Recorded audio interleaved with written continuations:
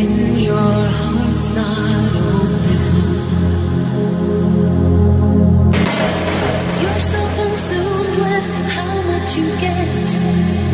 You waste your time with hate and regret. You're broken.